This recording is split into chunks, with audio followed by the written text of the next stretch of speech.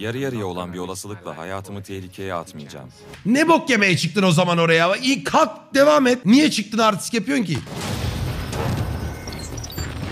Stefan kuzeydeki kanaldan geri tırmanıyor.